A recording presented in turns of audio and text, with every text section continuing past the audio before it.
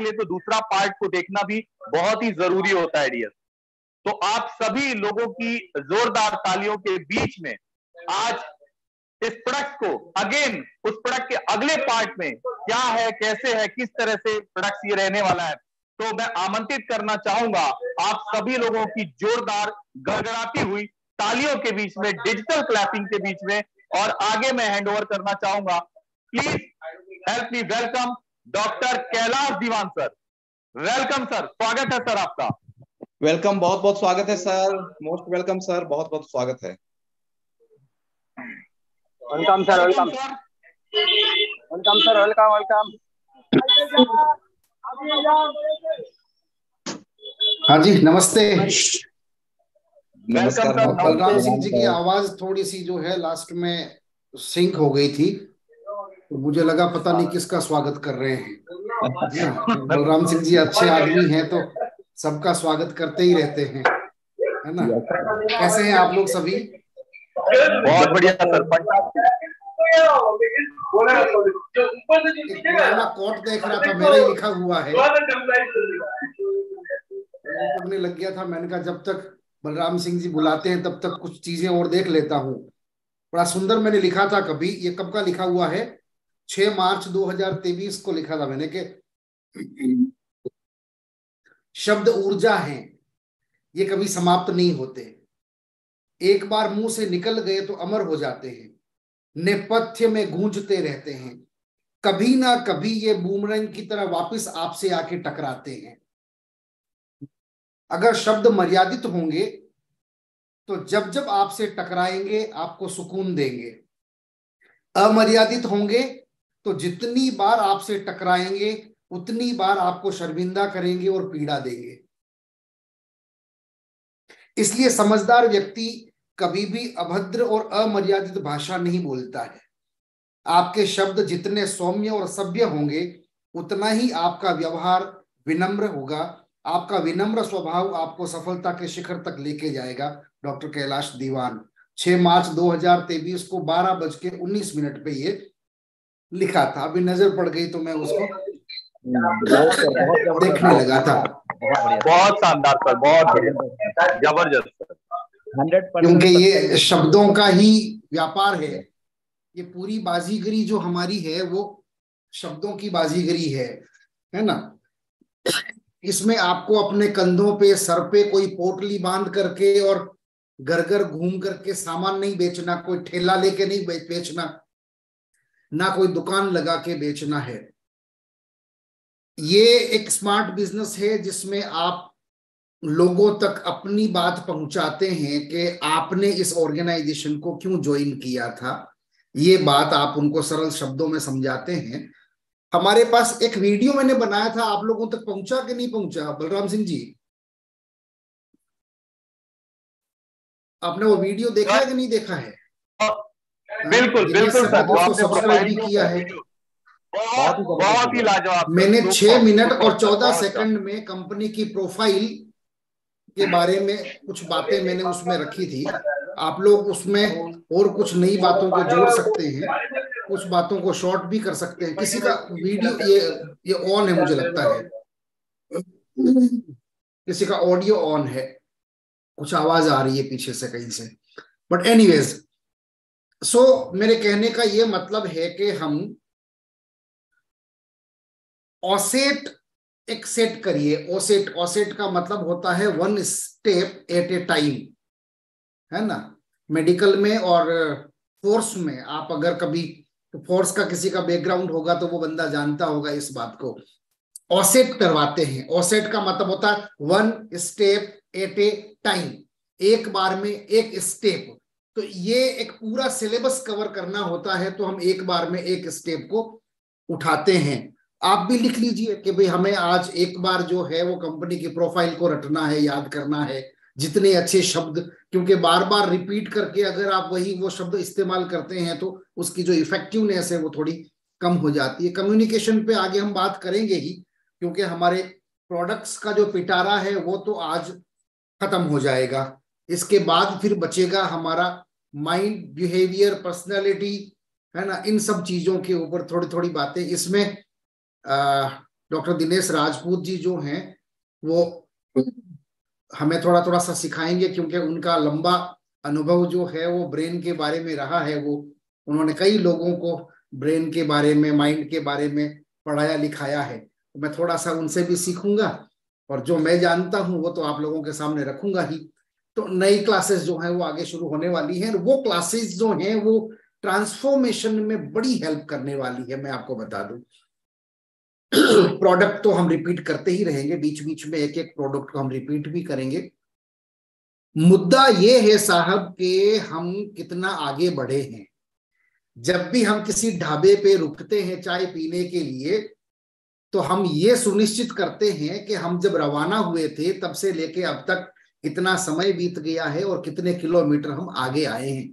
Network marketing में भी ऐसा ही करना होता है कि हम जब जब किसी पड़ाव पे चार लोग, चार भाई, चार बहनें बैठ के बातें करें तो इस बात की चर्चा ज़रूर करें कि इतनी तारीख को मैंने जो है अपना सफ़र शुरू किया था। आज इतनी तारीख है और मैं इतना आगे आ गई हूँ या मैं इतना आगे आ गया हूँ, मेरे घर में इतनी इनकम क्योंकि अब हम बिज़नेस में है तो हमारी सक्सेस किसमें कैलकुलेट करेंगे? वी विल कैलकुलेट और success in terms of money तो हम दो तरीके से इसको कैलकुलेट कर सकते हैं कि एक तो मेरी टीम की साइज़ कितनी बड़ी हो गई है, और दूसरा जो है, मेरा टर्नओवर कितना बड़ा हुआ है और मेरे घर में पैसे कितने आए हैं।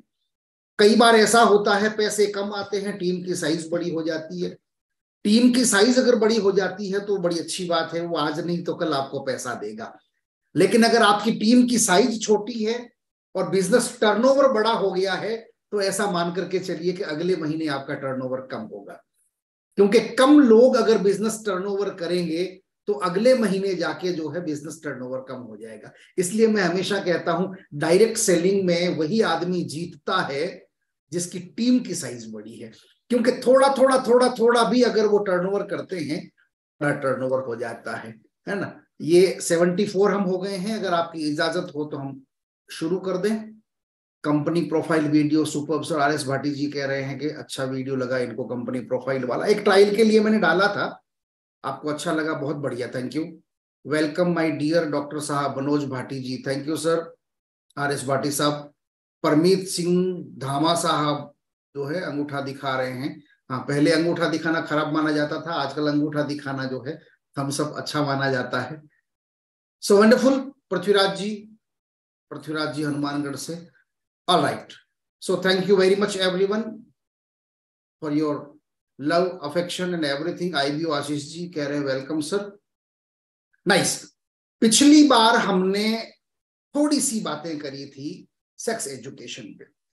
जब भी हम सेक्स एजुकेशन की बात करते हैं तो उसके पीछे मोटा मोटी हमारा जो अभिप्राय होता है बिज़नेस के कॉन्टेक्स्ट में, वो ये होता है कि ऐसे लोग जो शादी करना चाहते हैं और ऐसे लोग जिनकी शादी हो चुकी है, उन लोगों को सेक्स परफॉर्म करने में या बच्चा पैदा करने में कुछ दिक्कतें आती है या फिर यूरोजेनाइटल प्रॉब्लम जो है, कुछ है कि पेशाब करने में दिक्कत आती है डिसयूरिया है या बूंद बूंद करके पेशाब आती है और पेशाब में जलन होती है या इनकंटिनेंसी हो गई है, महिलाओं में अक्सर इनकंटिनेंसी हो जाती है क्योंकि वो बच्चा पैदा करती हैं तो मसल्स जो है वो डीले हो जाते हैं और मसल्स डीले होने की वजह से जो है वो पेशाब को रोकना उनके लिए बड़ा मुश्किल हो जाता है। इसलिए महिलाएँ जो है, जहाँ भी बस रुकती है है ना, या कार जब भी रुकती है तो फटाक से वो वॉशरूम की तरफ़ में भागती हैं। बुढ़ापे में पचास साल के आसपास आदमी जब आता है, पचास से ऊपर जब जाता है तो इनकॉन्टिनेंसी पुरुषों में भी बढ़ जाती है और कई बार जो है वो अपना ऑर्गन पकड़ करके बाथरूम में खड़ा रहता है। बूढ़ा आदमी आपने देखा हुआ कि वो बैठ खड़ा है, उसको पकड़ के कि अब ये लास्ट बूंद गिरेगी तो मैं यहाँ से जाऊँगा। जो जवान लोग हैं, उन्हें नहीं पता होता है कि एक्चुअल में वो क्या कर रहा है। एक बूंद अंदर में ट्रेवल कर रही होती है, या दो तीन बूंदे अंदर ट्रेवल कर रही होती है, जो वहाँ आएँगी डिलीवर होंगी, बाहर निकलेंगी, उसके बाद जो है वो, जो जनाब हैं, बुज़ुर्ग, वो उनको संतुष्टि होगी। अगर उन्होंने पहले ही जिप बंद कर दिया तो वो दो चार बूंदे उनके अंडरवियर में जो है, वो गिरेंगी। ऐसा होता है। तो बुढ़ापे में हम लोगों को देखते हैं कि यूरिन करके आया हुआ है आदमी तो उसके पेंट पे जो है, वो पेशाब के निशान रहते हैं। तो हमारा प्रोडक्ट इन सभी चीज़ों में बहुत बढ़िया तरीके से काम करता है। तो ये हमने देखा कि काम तो करता है। आज हम देखते हैं कि इसमें कौन से कौन से इंग्रेडिएंट्स हैं और उनका इतिहास क्या है? कितने सालों से वो इंग्रेडिएंट्स जो हैं, वो यूरोप में, अमेरिका में, लेटिन अमेरिका में, साउथ साउथ ईस्टर्न अमेरिका में, फ्लोरिडा में, पेरू में, मैं कई सारी जगह जाके आया हूँ, है ना? लाइव सेशन अगर होता तो मैं आपको वहाँ की कहानियाँ भी सुनाता, है ना? चौदह हज़ार, पंद्रह हज़ार फिट की ऊंचाई पे एक पूरा शहर बसा हुआ था। किसी जमाने में, जहाँ ना बस जा सकती है, ना कोई कार जा सकती है, ना मोटरसाइकिल जा सकती है, ना कोई गाड़ी जा सकती है। आप सोचिए कि चौदह हज़ार फीट की ऊंचाई पे, जहाँ सांस लेना भी मुश्किल हो जाता है, वहाँ एक पूरी डायनेस्टी बसी हुई थी और वहाँ के लोग मैकारूट खाया करते थे और लंबे कद के हुआ करते थे। माचू पीचू की पहाड़ियाँ उसको बोलते हैं, है ना? साउथ अमेरिका की मैं बात कर रहा हूँ। है ना? बहुत सुंदर जगह। अप्रतिम जगह है है ना? खूब सारे पैसे कमाइए, माचू पिचू की पहाड़ियाँ घूम करके आइए और जब भी वहाँ जाएँ तो याद करना कि हमारा एक प्रोडक्ट था राइनो चार्ज उसमें हमारा एक प्रोडक्ट एक इंग्रेडिएंट मिला हुआ था जिसका नाम था मैका रूट वो मैका रूट यहाँ से आता है। तो देखते हैं आज कितनी बातें हम इसमें और कर सकते हैं। मैं यहाँ से स्क्रीन शेयर करने की आपसे इजाज़त चाहता हूँ क्योंकि ये एक्सटेंशन ट्रेनिंग है हमारी। और ऑल राइट डिसेबल हाँ जी। आप सब लोगों को दिखाई दे रहा है स्क्रीन परफेक्ट परफेक्ट है। परफेक्ट वंडरफुल तो हमने देखा कि ये हमारा जो प्रोडक्ट है वो दो चीज़ों पे काम करता है या बेसिकली दो चीज़ों को एड्रेस करने के लिए बनाया गया है। अब अपने आँख नाक थोड़े से खुले रखिए, मैं इस प्रोडक्ट का विस्तार आपको बताना चाहता हूँ। क्या सोचा था? क्या लिखा गया इसके ऊपर? इसके ऊपर लिखा गया है बिगर इसके ऊपर लिखा गया है हार्डर इसके ऊपर लिखा गया है लॉन्गर और इसका जब ट्रेनिंग सेशन हमने शुरू किया था तो हमने लिखा इस पे रिप्रोडक्टिव सिस्टम और जेनिटो यूरिनरी ऑर्गन यानी कि बेसिकली हमने इसको एक कॉन्टेक्स्ट में देखा कि ये सेक्स परफॉर्म करने के लिए ऑर्गन को तैयार करता है या महिलाओं को गर्भ धारण के लिए उनका यूट्रस जो है वो तैयार करता है।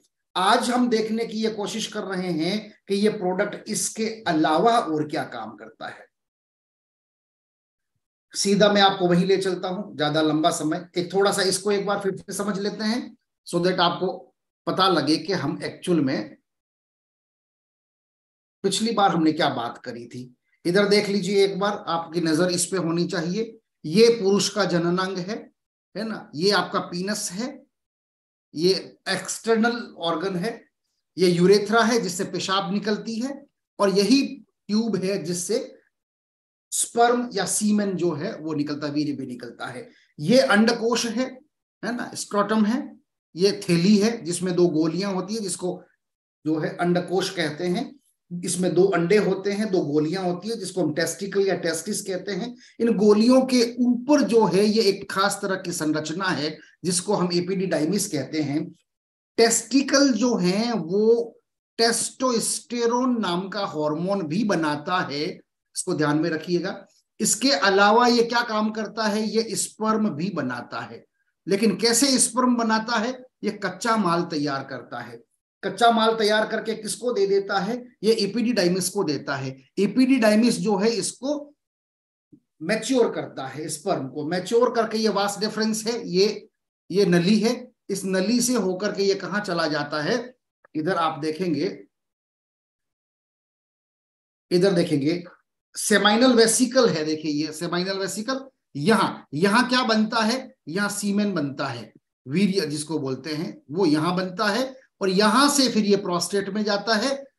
सॉरी, प्रोस्टेट में सीमेन बनेगा, सेमाइनल वेसिकल जो है उसके ऊपर एक कोटिंग चढ़ाता है। लेमिनेशन आप लोग नहीं कराते हैं मोबाइल फ़ोन का, ताकि वो बचा रहे। आपके शुक्राणु के ऊपर भी एक कोटिंग चढ़ती है, लेमिनेटेड शुक्राणु।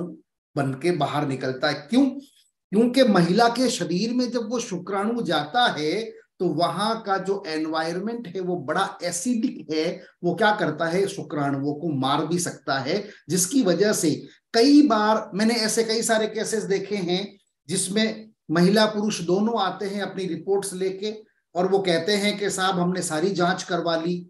इसको ध्यान से सुनिएगा। ये बहुत इंपॉर्टेंट बात बता रहा हूँ। कई बार जादू की तरह काम करता है और आप लोग हीरो बन जाएँगे सोसाइटी में एकदम से। पुरुष का शुक्राणु जो है, उसकी संख्या ठीक है।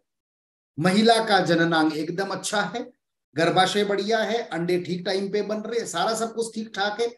आठ साल हो गए, नौ साल हो गए कोशिश करते हुए, फिर भी बच्चा नहीं पैदा हो रहा है। तो ये सेमाइनल वेसिकल अगर ठीक तरीके से काम नहीं करता है और अगर ये कोटिंग नहीं बनाता है तो क्या होगा? शुक्राणु जो है, वो सीमन के साथ बाहर आएँगे। अच्छा ये ये सीमन क्यों चाहिए? सीमन लिक्विड है, जिसमें घोल करके और शुक्राणुओं को बाहर निकाला जाता है। ठीक है? और ये चिपचिपाहट जो होती है वीर्य में, वो चिपचिपाहट असल में वो कोटिंग है, जो शुक्राणुओं को जो है सुरक्षित रखने के लिए स्पम को सुरक्षित रखने के लिए होती है। ठीक है? इसके अलावा वो जो चिपचिपाहट है, वो सेक्स करने के दौरान जो लुब्रिकेशन चाहिए होता है सेक्स ऑर्गन को वो लुब्रिकेशन भी प्रदान करता है। ठीक है साहब? तो चलिए, ये बात हो गई कि ये कोटिंग देता है और ये स्पम हाँ अब अगर ये कोटिंग नहीं बन रही है, शुक्राणु तो ठीक है।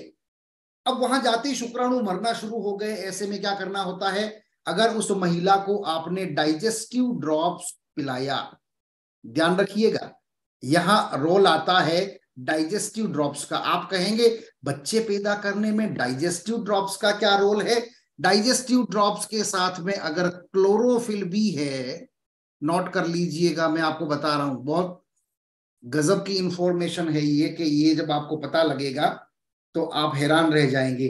क्लोरोफिल जो है बेसिकली आपके बॉडी का जो पीएच है, वो मेंटेन रखता है। और जब पीएच मेंटेन रहता है तो फिर शुक्राणु जो है, उसमें महिला के शरीर में जाकर के मरते नहीं है। उससे भी लोगों को बड़ा आराम आता है और इससे भी माँ बनने के, जो है, पिता बनने के चांसेस बढ़ जाते हैं। तो इसको ज़रूर करके देखा जाना चाहिए।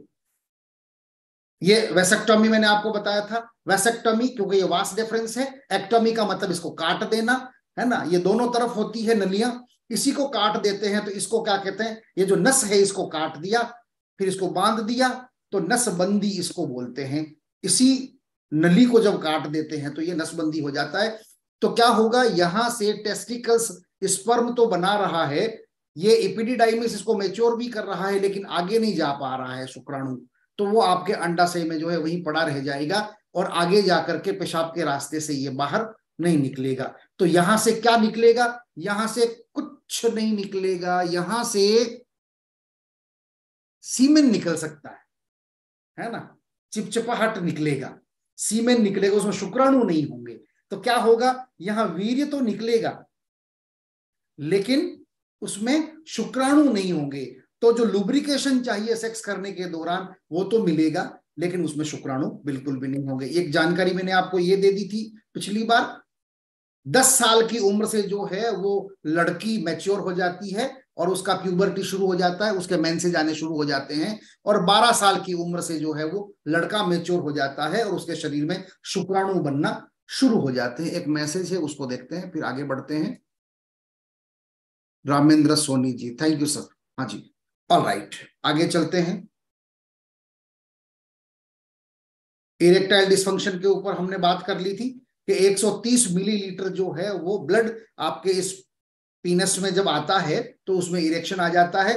और वो ये दो नलियाँ है है ना? इन दोनों नलियों में, इन आर्टरीज में ब्लड भरता है तो वो जो फूलती है तो आसपास के मसल्स चौड़े होते हैं और वो मसल्स फूलने की वजह से पीनस में जो है वो इरेक्शन आता है, कड़ा हो जाता है और वो सेक्स करने के लायक ऑर्गन तैयार हो जाता है। इसके अलावा मैंने आपको ये बताया था कि इसियो कैवर्नोसस और बल्बो कैवर्नोसस, ये दो मसल्स हैं जो ऐसे पिचकते हैं तो आपके पिनस के अंदर से पिचकारी निकलती है और पेशाब की धार बनती है। आप छोटे होते हैं, पेशाब की धार लंबी जाती है। युवा होते हैं, और लंबी जाती है। बूढ़े होते हैं तो वो धार धीरे धीरे कम होते होते होते होते पजामा भीगने तक की स्थिति आ जाती है। क्यों? क्योंकि ये इशियो केवर्नोसस और बल्बो केवर्नोसस नाम के जो मसल्स है अच्छा ये पुरुष में भी होते हैं, महिलाओं में भी होते हैं, दोनों में होते हैं, फिर क्या होता है? धार बनना बंद हो जाती है। उसकी स्पीड, उसका जो फोर्स है, वो कम हो जाता है। वो फोर्स कम हो जाता है तो सुसु कहाँ गिरती है? पैरों में। तो आपके जूते भीगते हैं, आपका पजामा, आपकी पेंट नीचे से भीगती है, क्योंकि धार एकदम नज़दीक में गिरती है। तो ये होता है। फिर उसके बाद पेशाब करने के बाद आदमी दो मिनट, तीन मिनट, पाँच मिनट खड़ा रहता है, क्योंकि वो लास्ट बूंद जो है वो निकल नहीं पाती है। ये इशियो केबनोसस और बल्बो केबनोसस के मसल्स के ढीले होने की वजह से होता है। हमारा ये जो प्रोडक्ट है राइनो ये क्या काम करता है? ये इन मसल्स को मज़बूत बनाता है। तो ये पेंट भीगने वाली जो बीमारी है, उससे ये आपको बचाता है। यही है जो वीर्य की पिचकारी भी तेज मारता है और वीर्य की पिचकारी जितनी तेज होगी सीमेंट की पिचकारी जितनी तेज होगी, उतनी तेज गति से शुक्राणु जो है वो अंदर की तरफ़ भागेंगे और अंडे से मिलेंगे। तो ये उसका फोर्स भी काउंट होता है तो ये दोनों मसल्स उसमें काम करते हैं। ये प्रोडक्ट बेसिकली उसके ऊपर काम करता है, बहुत शानदार तरीके से काम करता है। ये शुक्राणु कुछ इस तरीके का दिखता है, उसका ये हेड होता है, ये उसका मिड पीस है और उसका ये टेल है। और ये इस तरह से मिलियंस एंड मिलियंस ऑफ़ शुक्राणु रोज बनते हैं। पुरुष के शरीर में शुक्राणुओं की कोई कमी नहीं है। चाहे आप हस्तमैथुन करें, चाहे आप नहीं करें, चाहे स्वप्न दोष हो जाए नाइट फॉल हो जाए, कुछ भी हो जाए, शुक्राणुओं की कमी आपके शरीर में नहीं होती। कुछ लोगों में शुक्राणुओं की कमी तब होती है जब आपका टेस्टिस जो है वो शुक्राणुओं का प्रोडक्शन बंद कर देता है। तो ऐसी स्थिति में भी हमारा राइनो चार्ज जो है, वो शुक्राणुओं के प्रोडक्शन को बढ़ाता है, उसकी क्वालिटी को बढ़ाता है, उसकी क्वांटिटी को भी बढ़ाता है। ये बात हो गई। अब आगे हमने बात कर ली थी टॉर्जन की भी बात मैंने बता दी थी आपको ऑर्किटाइटिस की बात हमने बता दी थी, और ये क्या था? प्रोस्टेट ग्लैंड की बात हमारी हो गई थी कल प्रोस्टेट कैंसर की। इसको थोड़ा ध्यान से एक बार फिर से समझ लीजिए। इसकी वजह से बहुत सारे लोगों के घरों में किलकारियाँ गूंजेगी, एक बार इसको देख लो। जैसे मान लेते हैं, एक तारीख को किसी महिला का पहला दिन है माहवारी का। एक तारीख को किसी महिला का माहवारी का पीरियड का पहला दिन है। तो ये एक तारीख को मैं मान के चलता हूँ मैनस्ट्रुअल पीरियड एक मई। ठीक है, एक मई। एक मई को किसी महिला को माहवारी का पहला दिन है। एक मई को उनको जो है ब्लड जो है निकलना शुरू हुआ है। कितने दिन चलेगा? दो तारीख को चलेगा, तीन तारीख को चलेगा, चार तारीख को चलेगा, पाँच तारीख तक चल सकता है। किसी किसी को चार दिन चलता है, किसी को पाँच दिन चलता है, किसी को छह दिन भी चलता है। बट हमको काउंट करना है, पहला दिन याद रखना है। है ना? महिला और पुरुष दोनों याद रखें। पहले दिन से गिनती करना है, जिस दिन भी ग्यारहवा दिन हो जाए, पाँच दिन तक तो जो है वो ब्लड निकलता ही है है ना? मेंस्ट्रुअल साइकिल चलता रहता है मेंसेस चलते हैं, है ना? ब्लीडिंग होती रहती है। पाँच दिन तो सेक्स नहीं होता। छठवें दिन करके फ़ायदा नहीं, सातवें दिन करके फ़ायदा नहीं, आठवें दिन फ़ायदा नहीं, नौवें दिन फ़ायदा नहीं, दसवें दिन फ़ायदा नहीं पहले दिन से लेकर के और दस दिनों तक सेक्स करके कोई फ़ायदा नहीं, क्योंकि तब बाप बनने की, माँ बनने की संभावनाएँ एकदम नगण्य होती है, नहीं के बराबर होती है, या मैं यूँ कहूँ कि होती ही नहीं है। ग्यारहवें दिन मोस्ट फर्टाइल डे जो है, वो शुरू हो जाता है। ग्यारहवें दिन अगर पुरुष ने सेक्स किया है तो वो बारह तेरह तारीख तक भी रुकता है। मैं सजेस्ट करता हूँ कि आपको ग्यारहवें दिन भी नहीं करना है। बच्चे पैदा करने के लिए बारहवें दिन जो है, वो अगर आप सहवास करते हैं, संभोग करते हैं तो पुरुष का जो स्पर्म है, वो महिला की बॉडी में दो दिन तक ठहर सकता है। दो दिन तक। तो कब तक ठहरेगा? बारह तारीख को गया, तेरह को ठहरेगा और चौदह को ठहरेगा। चौदह तारीख को महिला के शरीर में अंडा बनता है। कितने अंडे बनते हैं? एक अंडा बनता है। एक महीने में सिर्फ़ एक अंडा बनता है। या तो वो चौदह तारीख को बनेगा या फिर वो पंद्रह तारीख को बनेगा। तो क्या महीने की चौदहवा तारीख? नहीं। जिस दिन मेंसेस आए हैं, उससे चौदहवा दिन ऐसा कहते हैं। फोर्टींथ डे को जो है वो अंडा बनेगा या फिर फिफ्टींथ डे को अंडा बनेगा। एक दो दिन आगे पीछे हो सकता है। तो सही टाइमिंग क्या है? संभोग करने की, बच्चे पैदा करने के लिए ग्यारहवा दिन या बारहवा दिन, बारह दिन, तेरहवा दिन, चौदहवा दिन, हो सके तो पंद्रहवा दिन भी। ये चार दिन जो हैं, वो मोस्ट फर्टाइल डेज़ होते हैं और इस रात इन रातों में सेक्स किया गया तो निश्चित रूप से जो है, वो बच्चे बनने की संभावनाएँ बढ़ जाती है। ये मेरे ख्याल से मैंने आपको एक काम की बात बता दी, है ना? बहुत सारे लोग क्या करते हैं ऊट पटांग हरकतें करते हैं। उनको पता ही नहीं होता है सेक्स कब करना है, उसके बाद रोते हुए आते हैं, साहब, हमें बच्चा नहीं हो रहा है। बच्चा इसलिए नहीं हो रहा है कि जो फर्टिलिटी विंडो है, ये विंडो आपको पता ही नहीं है। ग्यारह, ग्यारहवें दिन से लेकर पंद्रहवा दिन, ये ग्यारह, बारह, तेरह, चौदह, पंद्रह, पाँच दिन नोट कर लो। ये पाँच दिनों में जिसने भी सेक्स किया है सहवास किया है, उसके यहाँ बच्चे होने की संभावना बढ़ जाती है। आगे चलते हैं सब। मैंने फ्रीजिंग के बारे में बता दिया। अगर आपकी शादी करने की अभी उम्र नहीं है, शादी करने का मन नहीं है तो आप एक काम कर सकते हैं, तीस साल, बत्तीस साल की उम्र में जो है स्पर्म की क्वालिटी बहुत बढ़िया होती है। ऐसे में आप जाके अपने नजदीकी बैंक में स्टेट बैंक सेंट्रल बैंक नहीं, पैसे वाला बैंक नहीं, ये इसका स्पर्म बैंक अलग होता है। स्पर्म बैंक में जाइए, साल भर का पाँच हज़ार रुपया लगता है। आप अपना स्पर्म जो है यहाँ जमा करवा सकते हैं। हर साल पाँच पाँच हज़ार रुपए देते रहिए। एक साल, दो साल, पाँच साल, दस साल, जब तक आपकी शादी नहीं हो जाती है, तब तक आपका यह स्पर्म वहाँ। इसी अवस्था में 198 degree, minus one degree temperature में इसको वहाँ सुरक्षित रखा जाता है। आप जिस दिन भी चाहें उस दिन जो है उस स्पर्म को निकाल करके पिता बन सकते हैं।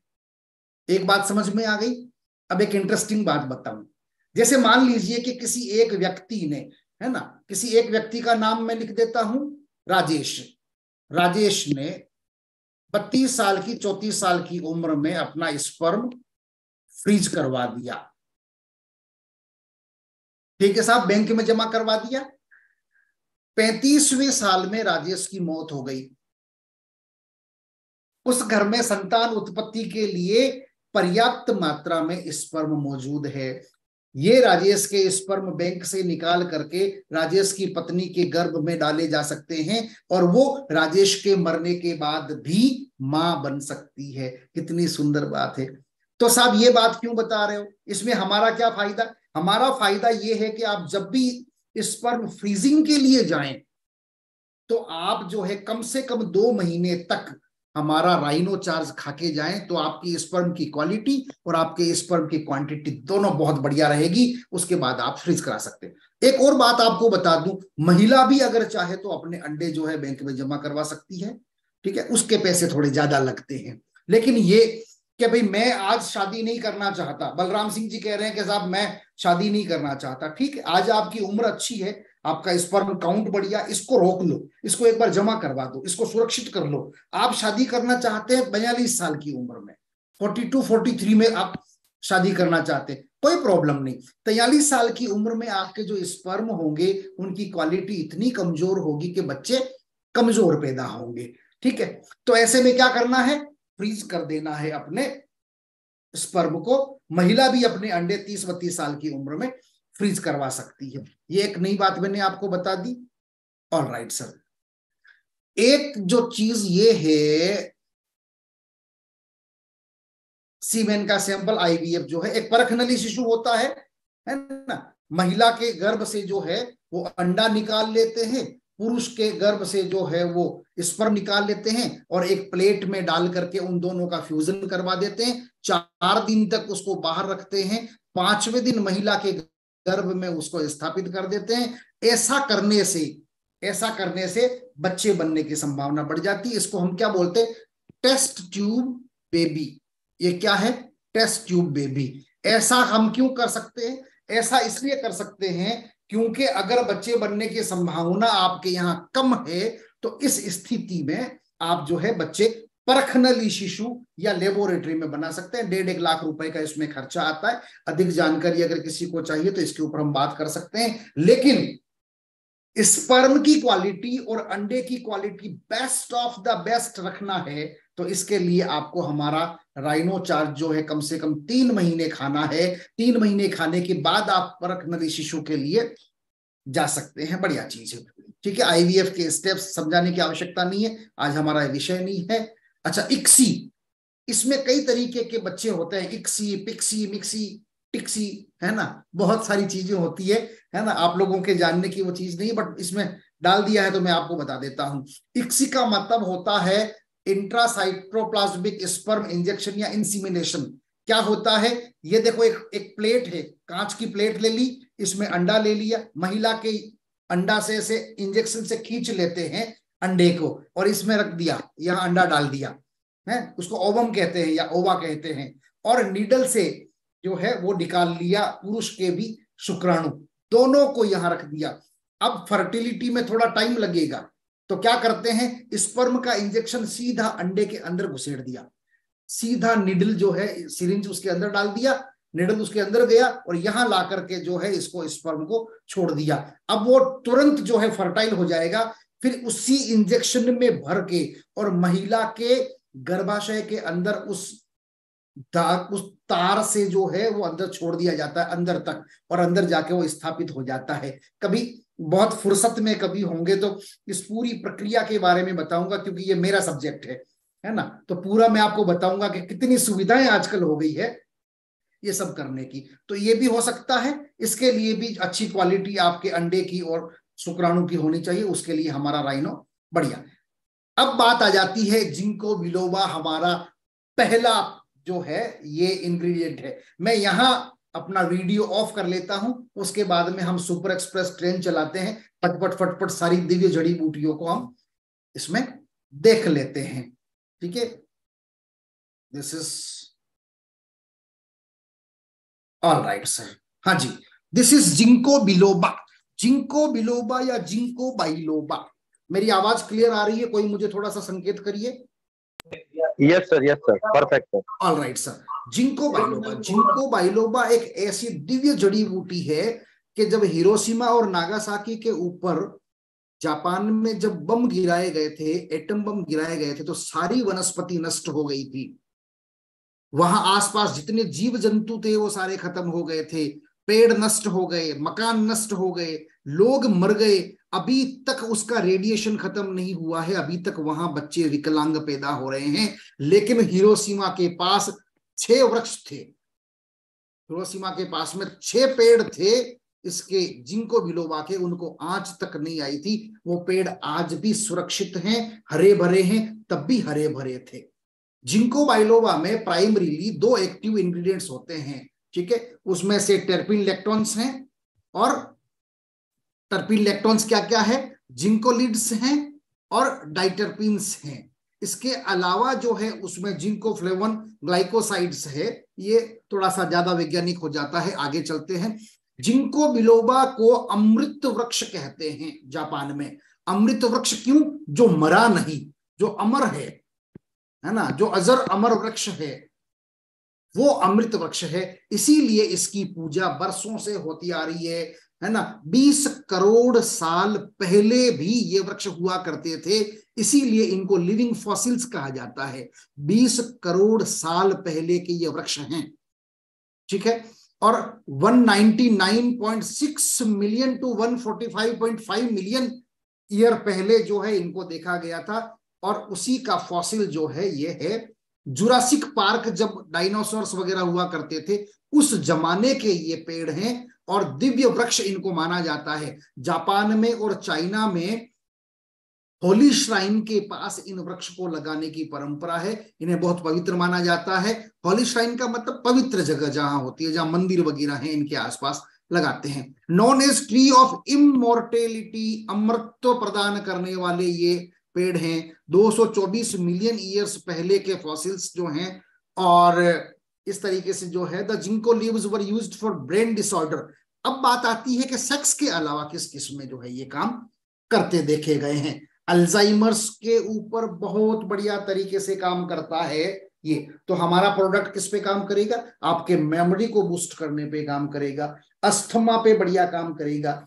टॉक्सिक शॉक सिंड्रोम जिसको होता है high fever headache diarrhoea vomiting irritability sore throat skin के ऊपर रैशेस का आना एब्डोमिनल टेंडरनेस सीवियर हाइपोटेंशन जिसका ब्लड प्रेशर कम रहता है बीपी कम रहता है, उनके लिए जिनको बिलोबा वरदान की तरह है, ठीक है? इसके अलावा 2800 बीसी से जो है, ये जापानीज लोग इसको एज ए मेडिसिन इस्तेमाल करते रहे हैं। रेस्पिरेटरी डिज़ीज़ में अस्थमा वगैरह मैंने बता ही दिया, बढ़िया काम ये करता है। As per Chinese and Japanese materia medica उसमें ये लिखा हुआ है। अब रेस्पिरेटरी डिस्ट्रेस के अलावा रेनल फेलियर में भी ये बढ़िया काम करता है, यानी कि किडनी में अगर स्टोन है, या यूरिनरी इंफेक्शन वगैरह है तो उसमें भी ये बहुत बढ़िया काम करता है। Regarded saviour tree saviour tree का मतलब होता है जिंदगियाँ बचाने वाला पेड़ इसको माना जाता है। Now valued in many parts of the world as fungus and insect resistant इसके खाने से फंगस यानी कि दाद खाज खुजली की बीमारी भी नहीं होती है और इंसेक्ट्स भी नहीं काटते, मच्छर भी कम काटते हैं। इस तरीके से उसको देखा गया है। इसके अलावा एक्सोटॉक्सिन जो है, जो हमारा बैक्टीरिया फॉर्म करता है, ये उससे लड़ता है। Sometimes called exotoxin toxin exotoxin इसमें पता नहीं मैंने डाला है कि नहीं डाला है, इसमें शायद मैंने एक्सोटॉक्सिन नहीं लिखा है, लिख देता हूँ यहाँ, है ना? एक्जोटॉक्सिन जो है, एक हार्मोन है शायद मेरे ख्याल से प्लांट हार्मोन है ना? नहीं एक्जोटॉक्सिन जो है, ये एक सब्सटेंस है जो बैक्टीरिया बनाता है हमारी बॉडी में। ये उससे लड़ता है। इसके अलावा ब्रिटानिका की स्टडी की अगर मैं बात करूँ तो इसमें ऑक्सिन नाम का एक हार्मोन होता है ऑक्सिन है ना? ऑक्सिन एक हार्मोन है प्लांट हार्मोन है ये, है ना? ये प्लांट हार्मोन क्या काम करता है? ये प्लांट हार्मोन जो है, वो सेल एलोंगेशन बढ़ाता है। सेल एलोंगेशन क्या बढ़ाता है? कोशिकाओं के डिफ्रेंशिएशन और प्रोलिफ्रेशन में ये सहायता करता है, जिसकी वजह से व्यक्ति जो है लंबी उम्र तक जीता है। है ना? उम्र लंबी होती है इसके खाने से। यह पुरुष और महिलाओं में, दोनों में ये काम करता है। इसके अलावा इसको किस तरह से दर्शाया जाता है, मैं आपको बता दूँ। बालों में बांधने वाला जो रबर होता है महिलाओं का, या नोटों की गड्डी पे जो आप रबर चढ़ाते हैं, वो कैसा होता है? ऐसा गोल होता है। फिर आप इसमें उंगलियाँ फंसा करके जब आप इसको खींचते हो तो कैसा हो जाता है? ऐसा हो जाता है। इसका क्या मायने है? इसको हम जो है एलोंगेशन कहते हैं। यानी कि इसकी तनाव झेलने की स्थिति जो है कैपेसिटी वो इतनी बढ़ती है, इतनी ज़्यादा है। ठीक इसी तरीके से ये आपकी बॉडी और आपके ब्रेन की तनाव झेलने की शॉक बियरिंग एबिलिटी जो है उसको ये बढ़ा देता है। ये स्पेशली मुझे आपको बताना था, इसलिए मैंने इसको थोड़ा सा इसमें कवर किया। तो ध्यान ये रखिएगा कि ये एक तो आपका ब्लड प्रेशर जो है वो विद इन चेक रखता है हार्ट के फ़ंक्शंस ठीक ठाक रखेगा रीनल फ़ंक्शंस फ़ंक्शंस अच्छे रखता है, और शुक्राणु वगैरह पे तो ये काम करता ही करता है। 1947 पे जो है 1945 में जब एटम बम गिराया था, ये देखो ये वही पेड़ है, ये एक्चुअल पेड़ है है ना, जो उस समय जैसा था, बिल्कुल वैसा ही आज भी है, और ये लोग इसकी बड़ी पूजा करते हैं। It is also known as the survivor यानी कि जान बचाने वाला अमृत्व का पेड़ है ये। लेबोरेटरी स्टडीज़ क्या कहती है? ब्लड सर्कुलेशन को ठीक करता है। नाइट्रिक ऑक्साइड जो है एंडोथीलियम लेयर होती है ये हमारी नसों में। हमारी जो ब्लड वेजल्स हैं, उन ब्लड वेजल्स के अंदर जो ये परत है, इस परत के अंदर एन ओ अपने आप बनता है। लेकिन कुछ कारणों से जब इसमें टॉक्सिन अक्यूमुलेट हो जाते हैं तो एनओ नहीं बन पाता है। तो ये जो हमारा प्रोडक्ट है, वो नेचुरली हमारी बॉडी में नाइट्रिक ऑक्साइड का प्रोडक्शन जो है, ये कराता है। और नाइट्रिक ऑक्साइड अगर आपकी बॉडी में नहीं होता है तो टेस्टोस्टेरोन काम नहीं करता है। ये आपकी बॉडी में टेस्टोस्टेरोन के प्रोडक्शन को ये बढ़ा देता है, पुरुषत्व बढ़ाता है, उसकी वजह से स्पर्म काउंट वगैरह बढ़ जाता है। मैंने आप लोगों को पिछली ट्रेनिंग में लेडिक सेल्स जो हैं, उसके बारे में बताया था एक सर्टोली के बारे में भी बताया था, दो तरह के सेल्स होते हैं, है ना? सर्टोली पता नहीं इसमें कहीं लिखा है कि नहीं लिखा है मैंने, पीछे मैंने एक जगह पे उसके बारे में बात करी थी। ये दो तरह की कोशिकाएँ होती हैं जो टेस्टोस्टेरोन बनाने का काम करती है और यही जो है वो क्या करते हैं, ये स्पर्म भी बनाते हैं। तो हमारा ये प्रोडक्ट जो है जिनको बिलोबा वो लेडिक सेल्स जो है, उसको स्ट्रेंथन करता है और इस तरीके से। इसके अलावा ये आपकी बॉडी में कॉर्टिसोल नाम का जो हार्मोन है, जो आपको दुखी करता है, उस हार्मोन के प्रोडक्शन को भी ये रोक देता है और आपको हमेशा खुश मिजाज रखता है। तो ये महिलाओं और पुरुष दोनों के लिए बहुत बढ़िया है। ये डॉक्टर्स डॉक्टर हेरमैन क्लिनिक जो है, उससे स्टडी को मैंने लिया है। स्टडी ऑन इरेक्टाइल डिसफंक्शन कई सारी स्टडीज़ उस पर हो चुकी है। इतनी स्टडीज़ है कि उसके बारे में बात करते करते पूरी रात लग जाएगी। ये नर्व टॉनिक है, ठीक है? इसके अलावा जो है वो सस्टेन इरेक्शन में बहुत सारी स्टडी हुई है कि ऐसे लोग जिनका स्पर्म काउंट निल हो गया था, उन लोगों में भी जो है स्पर्म काउंट को बढ़ाने का जो है कई पेपर पे मैंने देखा है। जिनको बिलोबा एक्सट्रैक्ट जो है वो सिस्टमेटिक रिव्यू उसका हमने देखा है कि ये पैरासिंथेटिक पैरासिम्पेथेटिक और सिंपेथेटिक नर्व पे काम करता है। तो पैरासिम्पेथेटिक क्या काम करता है? लिंग में तनाव लाता है। पैरासिम्पेथेटिक और सिंपेथेटिक नर्व्स क्या काम करती है? उसको खाली करवाती है, यानी कि स्खलित करवाती है। दोनों में ही अगर कोई एक चीज़ काम नहीं करेगी तो स्खलन नहीं होगा तो क्या हो जाएगा? व्यक्ति जो है वो सेक्स करता रहेगा, लेकिन उसका वीर्य बाहर नहीं निकलेगा।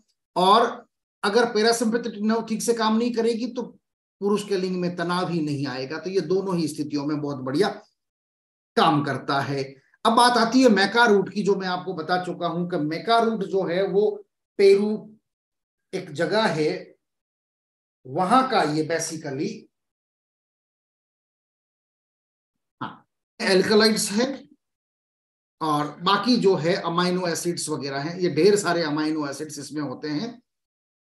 आगे देखते हैं क्या है। मेका का नाम जो है, वो लिपिडियम मैनी के नाम से जो है, वैज्ञानिक नाम इसका है।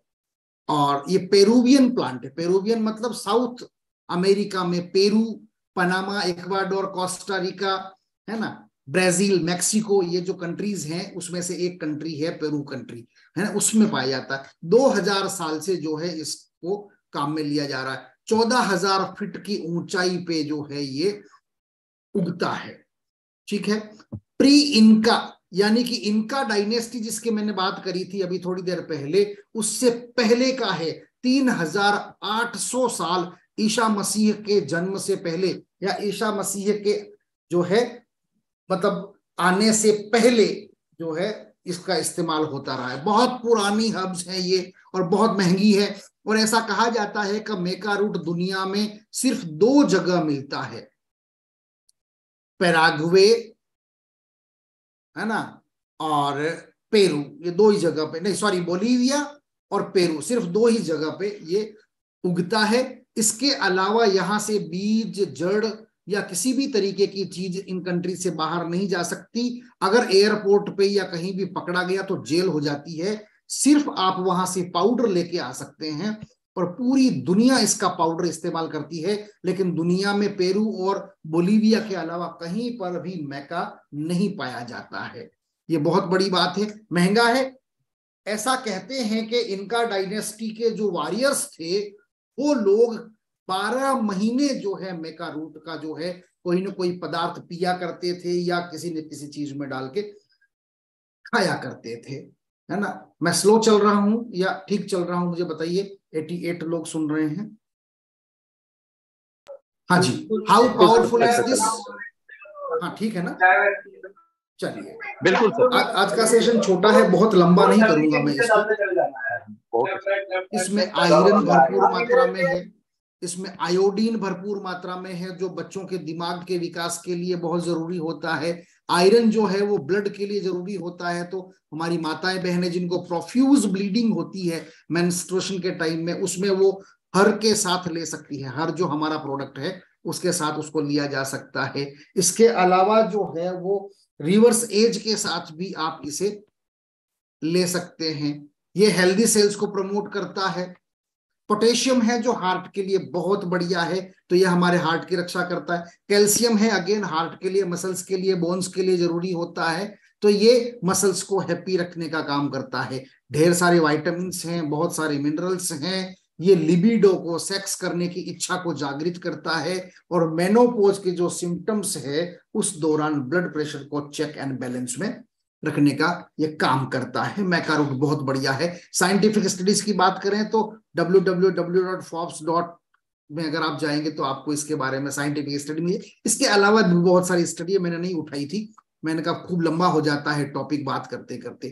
क्या काम करता है? सबसे पहले तनाव से मुक्ति। आपकी बॉडी में जो तनाव है ब्लड प्रेशर है डिप्रेशन है एंजाइटी है है ना? चिड़चिड़ापन है, उससे ये आपको बचाता है डिप्रेशन से। एनर्जी को प्रोड्यूस करता है आपकी हड्डियों को मज़बूत बनाता है। क्यों? क्योंकि इसमें कैल्शियम है, भरपूर मात्रा में कैल्शियम है, पोटेशियम है हार्ट के लिए बढ़िया, सेक्स लिबिडो को, मेल फर्टिलिटी को बढ़ाता है और ये टेस्टोस्टेरोन को बूस्ट करता है। इस पर हमारी बात हो गई। तीसरी जो चीज़ जो इसमें आती है, वो है डमियाना। टर्नेरा डिफ्यूजा इसका नाम है, ये मेडिसिनल प्लांट है। साउदर्न टेक्सास में, यूनाइटेड स्टेट्स में, मेरे ख्याल से कैरेबियन लिखा है। सेंट्रल अमेरिका में, मैक्सिको के रेन फॉरेस्ट में, साउथ अमेरिका में और कैरेबियन में जो है ये बहुत तायत से पाया जाता है। और ये इसको कुछ वुडी पोटेंसी वुड या पोटेंसी वुड समथिंग कुछ कहते हैं। पोटेंसी वुड कहीं लिखा होगा। पोटेंसी वुड इसी को कहते हैं शायद पोटेंसी वुड एनीवेज तो ये जो है, ये हर्बल रेमेडी स्पेनिश सोल्जर्स जब एंटर हुए थे, है ना, जब ये साउथ अमेरिका में, जब ये एंटर हुए थे सन 1511 में। 1511 में जब ये स्पेनिश लोग वहाँ गए थे, तब इन लोगों को ब्लेडर की शिकायत हो गई थी, यानी कि खूब पेशाब लगता था और इनके जननांगों में सूजन आ गई थी। ऐसी कहानियाँ हैं। तो यहाँ जो इनके जो ये द मायाज द एजटेक्स जो है, इनके एंसेस्टर्स थे द मायाज कौन है? मायापन सिटी है वहाँ पे ग्वातमाला में, है ना? एल सेल्वाडोर में। ये वहाँ के आदिवासी लोगों ने इनको टेमियाना जो है यूज़ करने के लिए दिया था और उसके बाद में पेशाब की जितनी शिकायतें थी वो दूर हो गई। इसको लाख दुखों की एक दवा माना जाता है मैक्सिको में, ग्वेतेमाला में, बेलीज में, एल सेल्वाडोर में, है ना, कैरेबियन में, सेंट्रल अमेरिका, मैक्सिको वगैरह में, इसको जो है संजीवनी कहा जाता है। ये एक तरह की संजीवनी है। अगर आपसे कोई पूछे कि साउथ अमेरिका की संजीवनी क्या है तो आप बिंदास ये कह सकते हैं कि दमियाना जो है वहाँ की संजीवनी है। कब से यूज़ हो रही है? 300 से लेकर के 900 बीसी का इसका इतिहास बताता है। इसके अलावा 1100 से लेकर के और 1511 1521 के बीच में जब ये स्पेनिश लोग यहाँ पहुँचे थे, तब शादी से पहले इसकी चाय पिलाई जाती है तीन हफ्तों तक। किसको? लड़का लड़की दोनों को। इसके अलावा इसकी पत्तियाँ, इसकी जड़ वगैरह डिफरेंट डिफरेंट जो है वो इसके काढ़ा वगैरह बना करके भी लोग इसका पीते हैं। ये सेक्स लिबिडो को बढ़ाता है मैनस्ट्रोशन को आप जो है उसको ठीक करता है इनकॉन्टिनेंसी को ठीक करता है स्टमक अपसेट हो तो उसको भी ठीक करता है और मेंटल हेल्थ के लिए भी ये बहुत बढ़िया तरीके से काम करता है। एक्टिव इंग्रेडिएंट की बात करें तो बीटा सीटोस्टेरॉल है अल्फ़ा जो बीटा कैरोटीन है, इसमें है ना एपिजेनिन है हाइमोल है इसमें हेक्साकोसनॉल है इसमें बहुत सारी चीज़ें इसमें जो है डेमियानिन इसके अंदर एक और चीज़ है। बट थोड़ा साइंटिफिक हो जाएगा, इसके ऊपर मैं बात नहीं करता। मैं आज सेशन को जितना छोटा हो सकता है, उतना छोटा रखने की आज मैं कोशिश कर रहा हूँ। Study Healthline dot com की स्टडी 2 अगस्त 2016 की ये बताती है कि ये स्टेमिना बढ़ाता है। किसका? मेन और वुमेन दोनों का। क्या स्टेमिना सेक्स स्टेमिना भी बढ़ाता है और फ़िज़िकल एनर्जी को भी ये एड्रेस करता है। फर्टिलिटी को बहुत बढ़िया तरीके से जो है एड्रेस करता है। पिट्यूटरी ग्लैंड के ऊपर जो है ये काम करता है। पिट्यूटरी ग्लैंड पे काम करता है, फिर ये क्या करेगा? पिट्यूटरी ग्लैंड जो है वो आगे टेस्टोस्टेरोन को बढ़ाने के लिए काम करेगा। आगे चलते हैं। साउपॉलमेटो साउपॉलमेटो एक सप्लीमेंट है। जिसको सेरेनोवा रिपेंस कहते हैं, ये भी पेड़ है। कुछ इस तरीके के जो है उसके ऊपर ये फल लगते हैं। सत्रहवीं शताब्दी के आसपास जो है यूएसए में फ्लोरिडा के आसपास जो है, तब इसको उगाना शुरू किया। वैसे तो ऐसा कहते हैं कि 500 से 700 इयर्स पुराना इसका इतिहास है। और ये 12 अप्रैल 2019 का एक पेपर में पढ़ रहा था, है ना? उसमें बताया है कि ये एनलार्ज प्रोस्टेट के ऊपर बहुत बढ़िया काम इसको करते हुए देखा गया है। साउपोल में तो आपको फ्रीक्वेंटली तेल जो बाज़ार में मिलता है बालों में लगाने वाला, उसमें मिल जाएगा। ये बालों की ग्रोथ के लिए बहुत बढ़िया काम करता है। ठीक है साहब, और क्या बता दें आपको इसके बारे में? बेनाइन प्रोस्टेट ग्लैंड जो है उस पर हाँ एक और खास बात आपको बताता हूँ। ये डीएचटी को बनने से रोकता है। ये आपको, जितने भी लड़के हैं, यंग लड़के, उन लोगों को समझना चाहिए डीएचटी क्या होता है। है ना? ये डीएचटी का मतलब हो गया है डीएचटी का फुल फॉर्म क्या हो गया? डीएचटी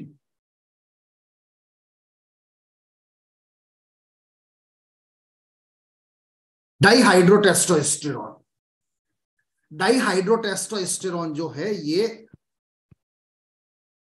उसको बनने से रोकता है। ये कैसे होता है टेस्टो टेस्टोस्टेरोन डाइहाइड्रोटेस्टोस्टेरोन में बदल जाता है।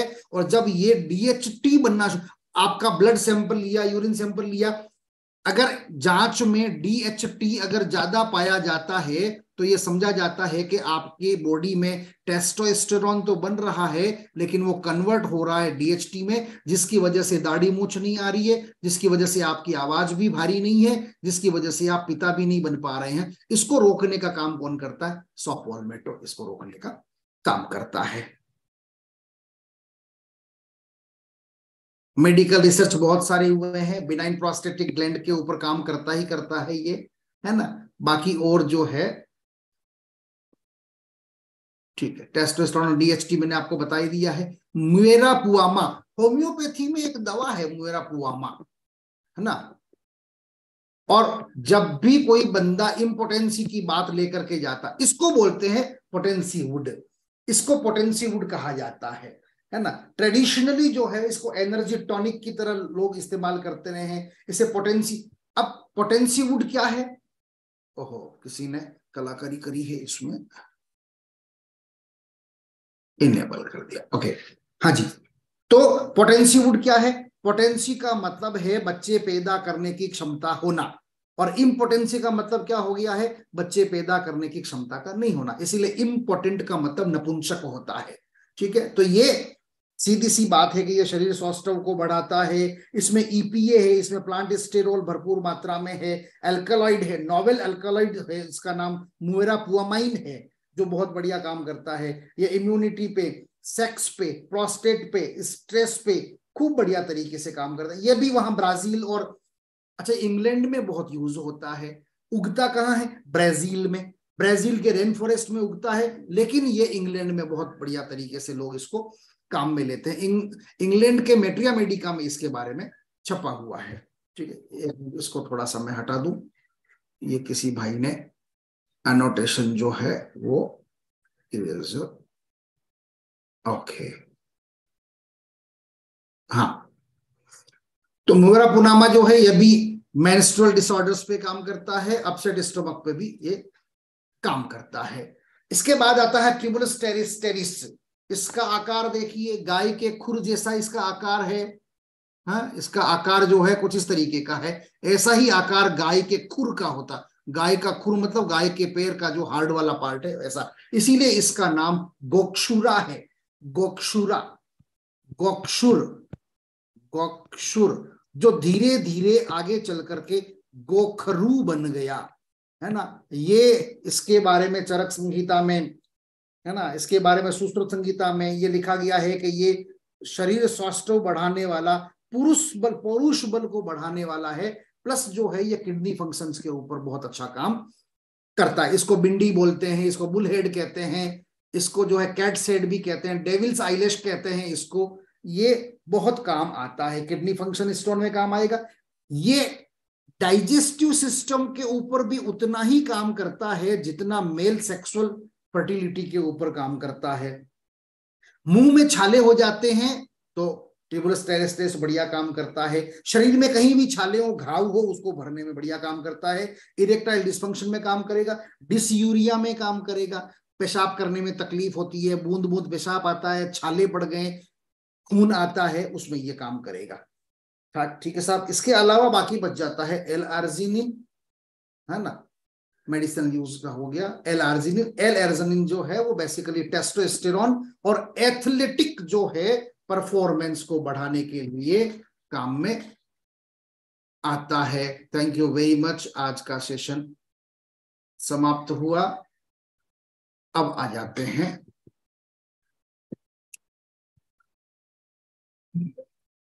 हाँ जी। चलिए, ये खत्म हुआ। एक ये देख लेते हैं।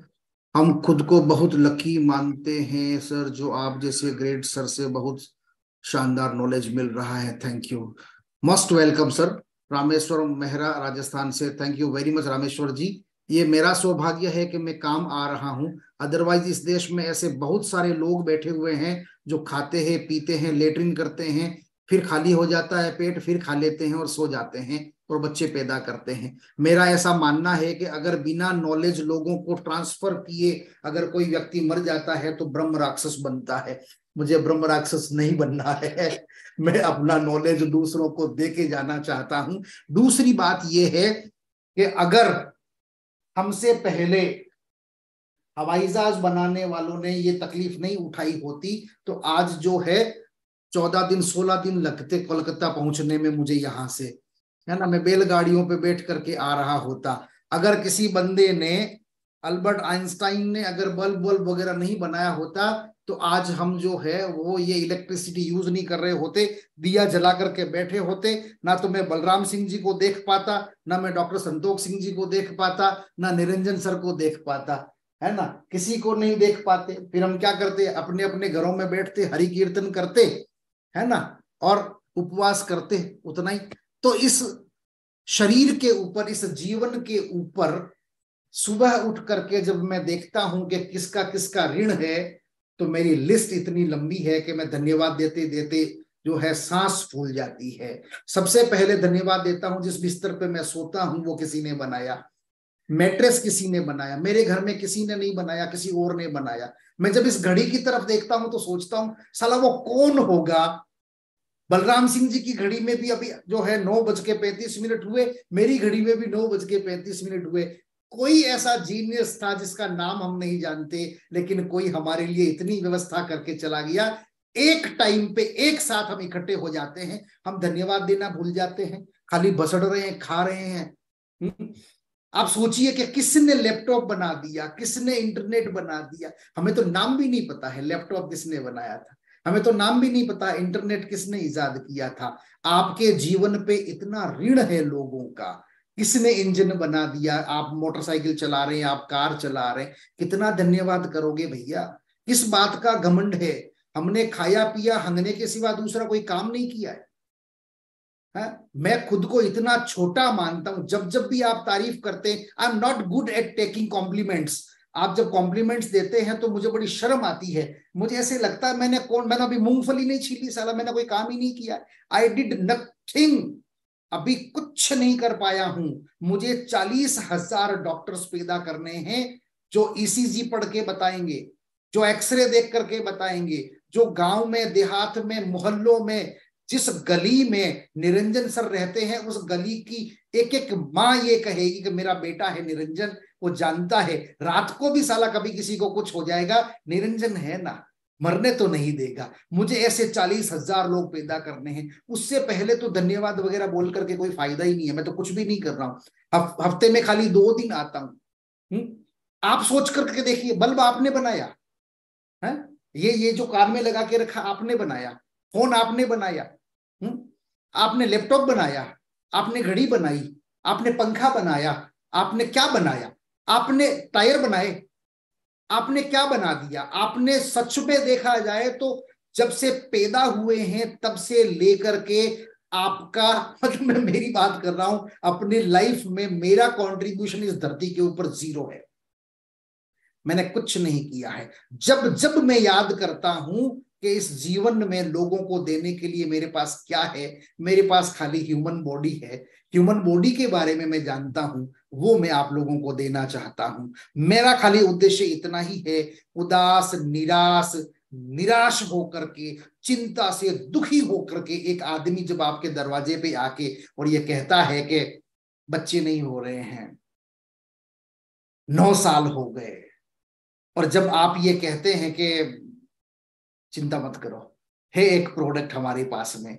चार महीने खिलाओ, लेकिन ध्यान रखना, चार महीने तक जो है, साथ में मत सोना अलग अलग सोना हस्तमैथुन भी नहीं करना, है ना? और ये प्रोडक्ट जो है, शायद आपके काम आ सकता है, आपका वंश वृद्धि जो है, इससे हो सकता है, और अगर आपके उस प्रोडक्ट्स के किसी के घर में बच्चा पैदा हो जाता है, आप सोचिए कितने गर्व की बात होगी। तब पीठ थपथपाना और तब कहना कि हाँ मैंने किसी के चेहरे पे मुस्कुराहट बिखेर दी। बरसों से कोई एक लेडी है जो कमर दर्द से तड़प रही है, खाना नहीं बना पा रही है, या कोई एक ऐसी लेडी है जिसको गाउट है, जिसको पूर्णिमा की रात को उठा के ले जाना पड़ता है पेशाब कराने के लिए, और उस लेडी को शर्म आती है कि मेरे ससुर मुझे उठा के ले जाते हैं, सासू माँ उठा के ले जाती है। उस महिला को अगर आपने खड़ा कर दिया और वो महिला खुद जाकर के रसोई में खाना बनाने लग जाए और वो अगर आपको ये कहे कि आपकी वजह से मेरा ये हो गया है, वो मुस्कुराता हुआ चेहरा जब देखें तब सोचना कि आपका जीवन सफल हो गया है। इस देश में हर घर में बीमार लोग बैठे हुए हैं। मैं हेलीकॉप्टर बनाना तो नहीं जानता तो आपको नहीं सिखाऊँगा, सिखा भी नहीं सकता। मैं आपको लैपटॉप बनाना नहीं सिखा सकता क्योंकि मैं नहीं जानता। मैं ह्यूमन बॉडी के एक एक नट के बारे में आपको बता सकता हूँ, वो मैं बताऊँगा। है ना? मैं जब तक बोल सकता हूँ, जब तक लिख सकता हूँ, जब तक ये सुविधाएँ उपलब्ध है, तब तक आने वाले टाइम में ये इंडस्ट्री अपने मुँह से बोल करके कहेगी कि एनरूट्स होराइजन के किसी भी लीडर के साथ बहस मत करना, वो साला डेड डॉक्टर है। वो एक और आधा डेढ़ डॉक्टर है, उससे मगजमारी मत करना क्योंकि उसके पास नोट्स बहुत हैं, उनकी एजुकेशन सिस्टम बहुत तगड़ी है। मैं बस खाली वो करना चाहता हूँ कि आप लोग लोगों के काम आए और इसी उद्देश्य के साथ में जो है एंड्रोड्स होराइजन का जन्म हुआ है। क्वालिटेटिव ट्रांसफॉर्मेशन हमको लोगों में करना है। आप लोग विनम्र बने, एक दूसरे की इज़्ज़त करें। बस आज इतना ही खाली सीख लीजिए मुझे लगता है कि इतना भी बदलाव अगर आप में आ गया है ना तो जीत जाएँगे फिर तो कोई रोक ही नहीं सकता है। ठीक है sir? So thank you very much for listening carefully and giving me the chance to deliver something to you है ना? I am obliged thank you very much thank you thank you very much साहब sir thank you very much sir thank you very much sir sir आपने जो इस rhino charge in product के बात की और जिसके ऊपर इतना अच्छा से आपने सेशन लिया सर इसके लिए मेरे शब्द कोश में कोई ऐसा शब्द नहीं है जिससे मैं आपकी तारीफ़ में कुछ कह पाऊँ। सर ये सर प्रोडक्ट के ऊपर जितना डीपली स्टडी और जितना जानकारी इवन हम लोग भी हमेशा से सोचते थे यार इंग्रेडिएंट्स के ऊपर तो कोई डीपली बात ही नहीं करता है। राइट वो लोग सिर्फ़ काम के ऊपर बात करते हैं कि ये ये प्रोडक्ट होता है ये ये काम करता है इस तरीके से प्रोडक्ट यूज़ किया जाता है डेप्थ बट जब तक प्रोडक्ट का साइंस नहीं समझ में आएगा राइट और आपका जो ड्रीम है सर कि डॉक्टर दीवान कहीं भी रहे इंडिया के कोने में लेकिन भारत के घर घर में हर एक घर में जो प्रॉब्लम्स क्रिएट होती है ऐसे लाखों दीवान मैं पैदा कर दूँ ये आपकी जो कोशिश है एनरूस के माध्यम से ये डेफिनेटली पूरी होगी सर और हम लोग बहुत ही शिद्दत के साथ आपकी ट्रेनिंग्स को सुनते हैं बहुत कुछ सीखने को मिलता है। तो आप हमारे लिए प्रेरणा प्रेरणा स्रोत है सर आपके जो ट्रेनिंग्स है उससे हम लोगों को बहुत ही ज़्यादा नॉलेज मिलती है और डेफिनेटली ये सपना ज़रूर पूरा होगा और ये एनरूट हर एक लेवल पे इसको लेके जाने का प्रयास कर रहा है और थैंक यू फॉर डॉक्टर साहब। तो वहीं पे हमारे साथ बहुत सारे लोग जुड़े हुए हैं और आज का ट्रेनिंग प्रोग्राम आप सभी लोगों ने सुना राइट और आई थिंक निरंजन जी कुछ कहना चाह रहे हैं।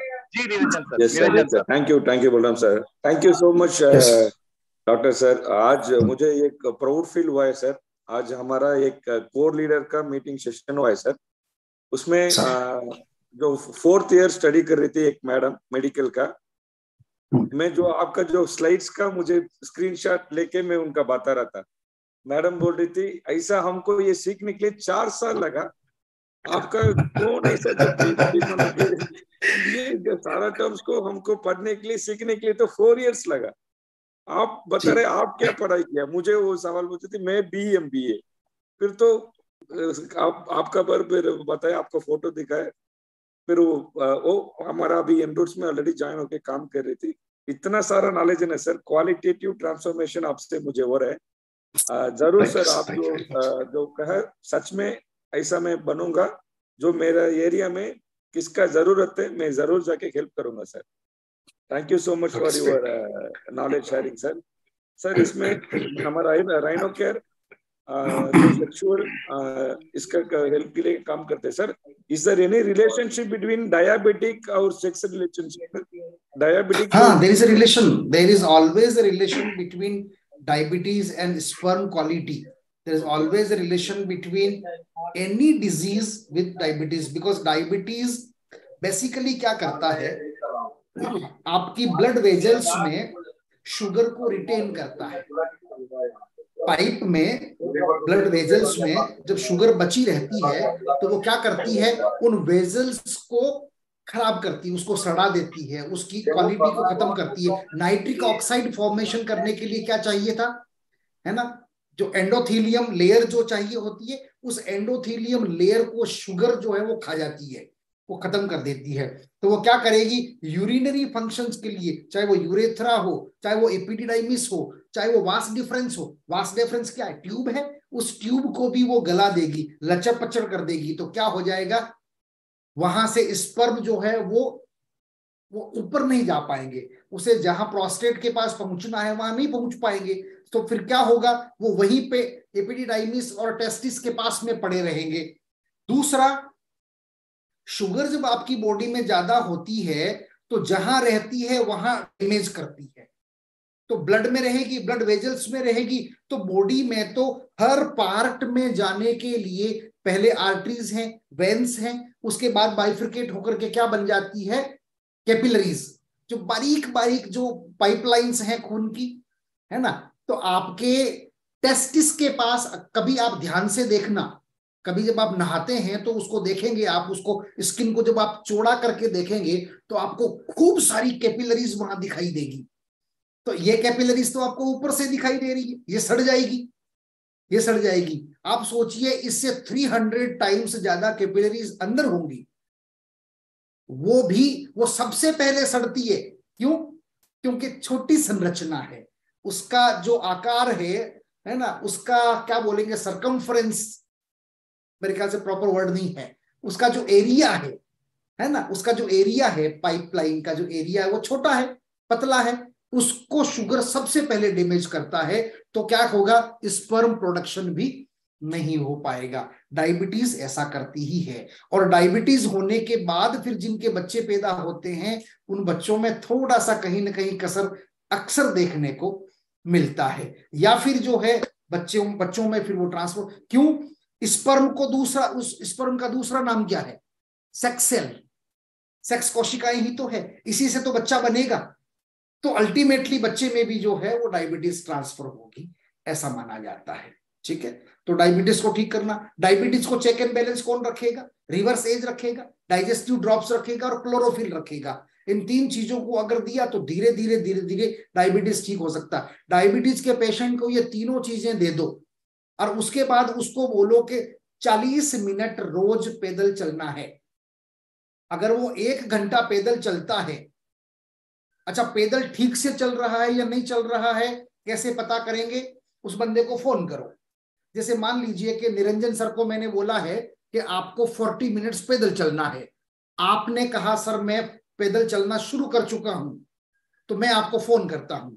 फ़ोन करके पूछता हूँ, हेलो, निरंजन सर कैसा चल रहा है सब? क्या काम हो रहा है? और आप पैदल चलते चलते आप जब कहते हैं, बहुत बढ़िया चल रहा है सर, मैं अभी वॉक कर रहा हूँ। इट मीन्स आप वॉक नहीं कर रहे हैं। आप जब ये कहते हैं, सर सर, मैं I am walking right now I am unable to talk to you जब आप ये कहते हैं, तब सही मायने में आप वॉक कर रहे होते हैं। ऐसी वॉक अगर आप 40 मिनट कर लेते हैं तो डायबिटीज़ जो है निश्चित रूप से पाँच से छह महीने में रेगुलेट हो सकती है डायबिटीज़ खत्म नहीं होती। कुछ लोग क्लेम करते हैं कि डायबिटीज़ को रिवर्स किया जा सकता है। मैं उन लोगों से बहस नहीं करता क्योंकि मैं नहीं जानता है ना? मेरी स्टडी के बाद विज्ञान बहुत आगे बढ़ गया है। तो हो सकता है कुछ ऐसे लोग होंगे जो डायबिटीज़ को रिवर्स कर देते होंगे तो उनसे भी हम बहस नहीं करते। सो so, हमारे प्रोडक्ट्स जो हैं वो डायबिटीज़ को कंट्रोल में ला सकते हैं और डायबिटीज़ को कंट्रोल में लाके राइनो खा के अगर कोई बच्चे पैदा करता है तो है ना? हैंडसम बच्चा पैदा होगा सुंदर बच्चा पैदा होगा टॉल बच्चा पैदा होगा निरंजन सर जैसा एकदम मस्त आदमी बनेगा tall handsome right sir thank you sir thank you so much sir thank you sir next please ji thank you very much thank you very much sir and मैं रिक्वेस्ट करूँगा आप सभी लोगों से क्योंकि डॉक्टर साहब का भी टाइम बहुत ही इम्पोर्टेंट है आप सभी लोगों का टाइम बहुत इम्पोर्टेंट है। देन बहुत सारे कुछ ऐसे सवाल है तो आप चैट बॉक्स में जा सकते हैं और चैट बॉक्स में आप अपने क्वेश्चंस जो वहाँ पे पुटअप कर सकते हैं। शायद आई थिंक डॉक्टर साहब कुछ चैट बॉक्स में क्वेश्चंस आए हुए हैं। आ, किसी ने कुछ दो क्वेश्चन है तो प्रेम बहादुर साहब का क्या है? What product should be used for the androids एक तो प्रेम बहादुर सोमई मगर प्रेम बहादुर साहब का एक क्वेश्चन है. प्लीज़ डॉक्टर साहब I would like to request to solve following problem इस पर 40 परसेंट ओके 40 परसेंट का मतलब होता है इस पर की क्वांटिटी कम है। ठीक है? परसेंट मोर्टेलिटी 80 परसेंट बहुत अच्छा है 80 परसेंट मोर्टेलिटी होना बढ़िया बात है है ना? प्रोग्रेस मोर्टेलिटी 65 परसेंट ठीक है सो सो है। बस सेल जो है फोर टू सिक्स और इमो, इमोटाइल जो है 30 परसेंट है। है ना? इमोटाइल लिखने की ज़रूरत ही नहीं थी। जब 80 परसेंट मोर्टेलिटी लिख दिया तो बाकी बचा हुआ इमोटाइल है। ठीक है? तो ये राइनो दे सकते हैं आप इसमें। राइनो दीजिए और रिवर्स एज दीजिए। दोनों ही चीज़ें दे करके आप जो है तीन एक महीने वेट करिए, ये ठीक हो जाएगा। ये कोई बड़ा प्रॉब्लम नहीं है। सर, किसी 28 ईयर ओल्ड लेडीज़ का पहले एक नंबर नील था। क्या बात कर रहे हो? एक नंबर नील कैसे होगा? कहीं कुछ गड़बड़ है रामेश्वर जी? आपकी इंफॉर्मेशन थोड़ी सी ठीक करिए। लास्ट टू ईयर से उनका आयुर्वेदा ट्रीटमेंट चल रहा है। तो एक ईयर से एक नंबर पाँच होकर रुक गया है पाँच। नहीं, आपकी इंफॉर्मेशन ठीक करिए। एक पाँच कैसे हो जाएगा? एक हमेशा एक हमेशा एक रहता है। एक महीने में एक ही एग निकलता है। जैसे मुर्गी रोज एक अंडा देती है ना? महिलाओं के शरीर से भी एक अंडा निकलता है, महीने में एक। है? किस दिन निकलता है? चौदहवें दिन। पहले दिन जब मेंस शुरू होता है, माहवारी के पहले दिन से शुरू करो तो चौदहवें दिन महिला के शरीर से ओवम, ओवा, एग, अंडा, जो भी बोलिए, वो निकलता है। इसीलिए कहता हूँ, बारहवें दिन सेक्स किया, तेरहवें दिन सेक्स किया, चौदहवें दिन सेक्स किया, पंद्रहवें दिन सेक्स किया, पाँच दिन अगर सेक्स किया तो निश्चित रूप से बाप बनने की संभावनाएँ प्रबल हो जाती हैं। ठीक है? उसी समय अंडा बनता है। हमेशा अंडे थोड़ी बनते हैं, एक अंडा बनता है। है ना? पूरे जीवन काल में तकरीबन 300 अंडे जो हैं, वो एक महिला के शरीर से निकलते हैं। इससे ज़्यादा अंडे नहीं होते। किसी में इससे भी कम होते हैं और किसी किसी में कोई पाँच चार अंडे एक्स्ट्रा हो सकते हैं। आप और हम सारे लोग अंडे से बने हुए हैं। अच्छा फिर देखिए, हम लोग किस्मत वाले हैं कि ये अंडे अंदर थे। अगर मुर्गी की तरफ़ बाहर आ गए होते तो हम में से कई सारे लोगों का तो ऑमलेट बन गया होता था, साला। हम कभी किसी के तवे पे फ्राई होकर के खा जाता कोई ना कोई। इसलिए ऊपर वाले को मालूम था कि आदमी बड़ा हरामी है साला ये अंडे का ऑमलेट बना लेगा। इसलिए महिलाओं के अंडों को अंदर रखा है ना ताकि किसी को दिखाई नहीं दे है ना। तो हम सारे लोग अंडे से पैदा हुए। अभी आगे से ध्यान रखना अगर कोई पूछे कि भाई हम कैसे पैदा हुए हैं तो बोलना कि जैसे मुर्गी के बच्चे पैदा होते हैं हम भी वैसे ही पैदा हुए हैं। ठीक है? हाँ जी रामेश्वर तो मेहरा जी का कहना है ओके सर। तो मैं रामेश्वर मेहरा जी शायद मेरे ख्याल से आपको मेरा जवाब समझ में आ गया होगा। ऑल राइट सर ठीक। एक आधा सवाल और ले सकते हैं उसके बाद विदा लें। ओके सर ओके सर तो हमारे साथ जुड़े हुए हैं रामेंद्र सैनी जी। और रविंद्र सैनी सर मैंने आपको अनम्यूट हाँ। का रिक्वेस्ट भेजा है। जी जी जी जी। सर वेट में जैसे यार उनका भी होता है पचास होता है दस होता है एक होता है वो के अकॉर्डिंग वो हमारा आता है अब हम लोग क्या किए? हम इंडिविजुअल हो गए। जी रामेंद्र सोनी जी। जी जी। सर अपना प्रोडक्ट क्या हाइड्रोसिल में वर्क करता है? करेगा? करता है सर बिल्कुल करता है। हाइड्रोसिल में बहुत बढ़िया तरीके से काम करता है। इसमें साउपॉलबेटो है इसमें ट्रिबुलस टेरिस्टेरिस है। ये दोनों ही हर्ब्स बेसिकली प्रोस्टेट ग्लैंड में हाइड्रोसिल में है ना इन दोनों में बेहतर तरीके से काम करती है। बल्कि किडनी फ़ंक्शंस में भी काम करेगा। अगर किडनी स्टोन हो गया है तो भी हमारा प्रोडक्ट उसमें काम करेगा। इसमें एक मांस बढ़ा हुआ हो या पानी बढ़ा हुआ हो किसी भी कंडीशन मांस बढ़ता नहीं है मांस क्या होता है? वहाँ प्रोटीन जब बाहर निकलता है कहीं चोट लगती है कुचला। जाता है इन्फेक्शन हो जाता है तो प्रोटीन रिलीज़ होता है। प्रोटीन जब बाहर निकलता है तो अपने साथ पानी को इकट्ठा करता है जिसकी वजह से सूजन आ जाती है है ना? जी जी। तो वो प्रोस्टेट जो है सूज जाता है। ये उसको ठीक कर देगा कोई टेंशन वाली बात नहीं है। ठीक है? है। Thank thank you sir thank you sir okay बढ़िया। जी। तो I think thank you so much sir आज का सेशन बहुत ही शानदार रहा सर और काफ़ी सारी इंफॉर्मेटिव हम लोगों को मिला आज के सेशन में। Even Rhino charge my dear friends कितना बड़ा प्रोडक्ट है, आप, हम सब लोग समझ सकते हैं। और thanks for एनरोड फॉराइजन and thanks for doctor Kailash Dewan sir जिनके रिसर्च के माध्यम से जिनकी टीम की वजह से हम लोगों को ऐसे प्रोडक्ट एनरूट के माध्यम से मिलने का सौभाग्य प्राप्त हो रहा है। तो आई थिंक हमें प्राउड होता है कि we are a part of Enroute Forizon private limited तो thank you very much and all आप सभी लोगों को थैंक यू वेरी मच और ये सफ़र जो है अभी जारी है दोस्तों और जीत का सफ़र जैसा कि एनरूट ने अभी प्लानिंग किया है. और आज पहला दिन है पटना के अंदर और बहुत ही जल्दी हमारे honourable CMD Kundan Chaudhary sir, आप लोगों के शहर में, आप लोगों के बीच में बहुत ही जल्दी पहुँचने वाले हैं. तो उसकी जोरों शोरों से तैयारियाँ करिए. क्योंकि अभी कल का डेट हम लोग पटना में है, परसों फिर गोरखपुर के अंदर, फिर देन वहीं से लखनऊ, फिर आपका बरेली और ऐसे ही करते हुए पूरा 26 दिन का टूर जो है, हमारे कुंदन सर ने डिज़ाइन किया है एंड गोपाल सर ने डिज़ाइन किया है, और doctor Kailash Dewan sir already tour पे है। तो आई थिंक आप सोच सकते हैं, आने वाले छह महीने में जिस स्पीड से एनरूस को प्रमोट किया जा रहा है एनरूस के अंदर जो वर्किंग स्टार्टअप हो रहा है आई थिंक एक एक्स्ट्रा ऑर्डनरी लेवल पे जाने वाला है।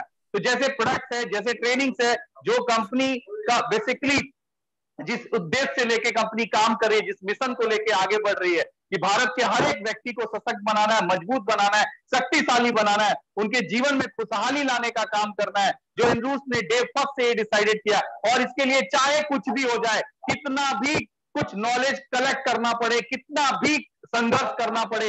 हर एक लेवल पे ये चीज़ हम अपनी फैमिली को, पूरे इंटायर एनरूस परिवार को पहुँचाने तक के लिए समर्पित रहेंगे। तो I think thank you very much आप सब लोगों ने आज जूम में पार्टिसिपेट किया।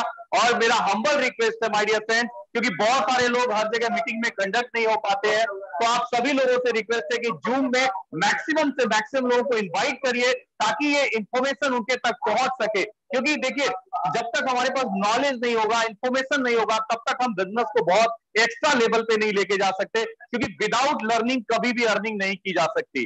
तो प्लीज़ मेरा हम्बल रिक्वेस्ट है आप सभी लोगों से कि जूम को ज़्यादा से ज़्यादा प्रमोट करिए, ताकि लोग जो है घर पे बैठ के इस इंफॉर्मेशन ये नॉलेज की चीज़ें जूम के माध्यम से कलेक्ट कर सके, क्योंकि जितना बड़ा आपका नॉलेज होगा, उतना बड़ा आपका बिज़नेस होगा।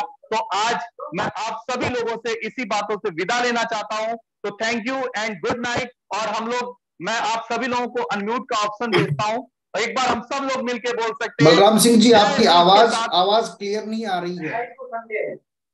अच्छा। हेलो अब आ रही है sir your voice was not not clear sir हाँ थोड़ा नेटवर्क का इशू नेटवर्क का इशू आ रहा है सर नहीं आवाज़ क्लियर है सर आवाज़ क्लियर है थोड़ा इशू उधर ही होगा आवाज़ क्लियर है। अच्छा क्लियर है क्या? फिर मेरे पास क्यों नहीं आ रही है। बलराम सिंह जी की आवाज़ तो आनी चाहिए सर गोपाल सिंह सर। नहीं आवाज़ clear है। अच्छा अच्छा ठीक है। सर सर आ रही आप सर आपने आपने मुझे कहा और मैंने एक और आवाज़ सुनी सब बता रहे हैं क्लियर है मेरे पास हमारे बीच में एक और आवाज़ सुनने को मिला मुझे हमारे sales and marketing director Gopal sir भी आज सेशन के अंदर कनेक्ट है और वो डेली कनेक्ट रहते हैं दोस्तों। और मैं चाहता हूँ कि सर दो शब्द जो मैसेज आप देना चाहते हैं प्लीज़ वेलकम गोपाल सर के लिए एक बार डिजिटल तालियाँ होनी चाहिए दोस्तों। Gopal sir welcome sir welcome sir thank you thank you thank you very much thank you doctor साहब. थैंक यू जब भी मैं भी हमेशा ट्रेनिंग लेता रहता हूँ तो क्योंकि हमें भी प्रोडक्ट्स की जानकारी नॉलेज होनी चाहिए क्योंकि अभी तक हम लोगों ने जो काम किए हैं जो भी अर्निंग किया विदाउट लर्निंग किया है यानी कि प्रोडक्ट्स की विदाउट जानकारी के ही हम लोगों ने जितना भी जो किया है। लेकिन अभी सबसे बड़ी बात क्या है क्योंकि हमें मालूम है कि हमारा प्रोडक्ट बहुत ब्यूटीफुल है बहुत ज़बरदस्त है और उसकी नॉलेज हमारे साथ आने वाले हर एक व्यक्ति को उसकी नॉलेज होनी चाहिए। क्योंकि प्रोडक्ट्स तो बहुत सारी कंपनी लेके आती है, बहुत सारे लोग लेके आते हैं, लेकिन हमारे बेस्ट क्यों? हमारे में ऐसी खूबी क्या है? हमारे ऐसे प्रोडक्ट्स में क्या ऐसी बेस्ट खूबी है जो लोग हमारे प्रोडक्ट्स को यूज़ करें, हमारे साथ ही यूज़ करें? दूसरा, हम लोगों ने ऐसे प्रोडक्ट्स को बनवाया ऐसे तैयार कराया है कि हर एक वो प्रोडक्ट्स जो एक एक प्रोडक्ट्स जो भी आएगा, जो भी है हमारे पास और जो भी आने वाले वक्त में आएगा डॉक्टर साहब के माध्यम से आप लोगों के पास में वो ज़बरदस्त नॉलेज आएगी क्योंकि हम लोग सभी लोग सौभाग्यशाली हैं कि हमारे पास डॉक्टर कैलाश सर जैसे इंसान है जो व्यक्ति तो खूबसूरत है ही, दिल से भी खूबसूरत है, वैसे भी खूबसूरत है और उनकी नॉलेज जो है, वो तो माइंड ब्लोइंग है। तो वो उसका भी हम अगर फ़ायदा ना ले पाए, उसको भी हम ना सीख पाए तो हमारा डायरेक्ट सेलिंग करना ही बेकार है। तो इन चीज़ों को समझना है। कि अभी तो हम फ़िज़िकल अभी तो हम जूम के माध्यम से कर रहे हैं क्योंकि अभी हमारी स्टार्टिंग है, एक डेढ़ महीना अपने को हुआ है अभी। लेकिन आने वाले वक्त में डॉक्टर साहब, आप लोगों के बीच में, आप लोगों के साथ में वन टू वन बैठ करके ट्रेनिंग के माध्यम से और कहीं ट्रेनिंग सेशन रख करके अलग स्पेशल ट्रेनिंग दी जाएगी। और अभी तो डॉक्टर साहब आपको 10 या 15 परसेंट ही अपनी नॉलेज दे पा रहे हैं। जितना मैंने उनको देखा है, जितना समझा, जितना उनके बारे में सुना है, देखा यूट्यूब पे सर्च किया है, उनके बारे में जो भी जानकारी ली है, वो अभी 90 परसेंट की जानकारी अभी और बाकी है।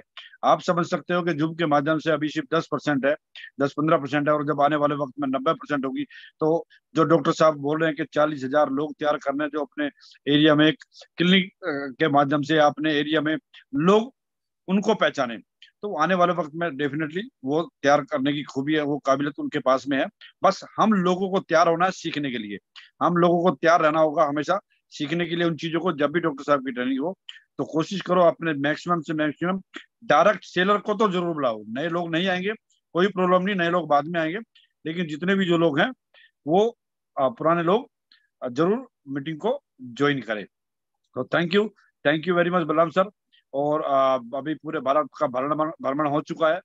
बहुत ही जल्दी जितने भी जो लोग यहाँ यहाँ बैठे हुए हैं, आपके शहर में, मैं कुंदर सर, हम सभी लोग मिल करके एक विदा उठा चुके हैं कि आप लोग विश्वास करके विश्वास करके हमारे साथ आए हो।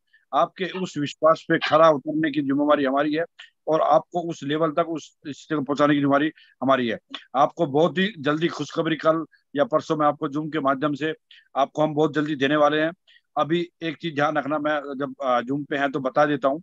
एक चीज़ ध्यान रखना कि अभी दो तीन दिन आईडी पेड नहीं होगी क्योंकि सॉफ्टवेयर में कुछ ज़बरदस्त अपडेशन चल रही है।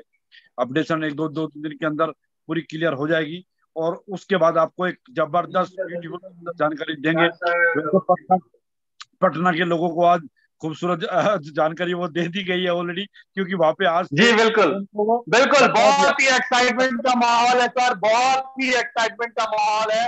और भी जो चीज़ें में एज ए सेल्स डायरेक्टर है Kailash Diwan sir and CMD Kundan sir ने जो अपग्रेडेशन किया है जो इन्हांसमेंट किया है बिलीव मी ये इन्हांसमेंट से माय डियर फ्रेंड्स मैं तो यही बोलूँगा कि आपके घरों में जो संदूक है ना वो छोटा पड़ जाएगा। एनरूट इतना पैसा बांटने वाला है, इतना खजाना बढ़ाने वाला है कि आप अपने बक्से को बड़ा बना लीजिए। अपने ड्रीम को बहुत बड़ा बना लीजिए कि उस हर एक ड्रीम को आप इसका आगाज़ आज पटना से हुआ है। जो आने वाले चंद कुछ दिनों में आप सब लोगों को देखने को मिलेगा। तो रेडी हो जाइए। आपका माइक बंद हो गया, बलराम सर माइक बंद हो गया। एक्साइटमेंट तो यस तो हमारे कुंदन सर अब निकल चुके हैं अपने हेडक्वार्टर से। कहते हैं शेर का जंगल का जो शेर है ना जब बाहर निकलता है ना तो शिकार सोचिए वो कैसा करने वाला है। तो हमारे कुंदन सर गोपाल सर सब लोग ऑन द फ़ील्ड है माय फ्रेंड और मैं चाहता हूँ कि ये महीना हमारा एनरूट का सबसे बड़ा महीना हो। आप सब लोग फ़ील्ड में रहिए ग्राउंड पे काम करिए ताकि इस महीने एक शानदार क्लोजिंग हो सके और एक शानदार पे आउट आप लोगों के घर में आ सके, क्योंकि इससे, इसको पूरा करने के लिए, इसको और बढ़ाने के लिए आपके साथ डॉक्टर कैलाश सर का आशीर्वाद बरसता रहेगा कुंदन सर का आशीर्वाद बरसता रहेगा, गोपाल सर का आशीर्वाद बरसता रहेगा। तो थैंक यू दोस्तों, आज हम लोग इस मीटिंग को यहीं पे वाइंड अप करते हैं। तो thank you thank you very much और मैं आप सभी लोगों को अनम्यूट का रिक्वेस्ट देता हूँ। और आप सब लोग प्लीज़ एक बार जय एंड्रूस के नारे से आज का सेशन को हम लोग यहीं पे क्लोज करते हैं जय एंड्रोस जय जय। जय जय.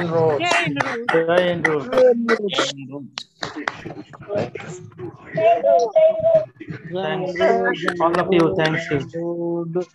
Thank you.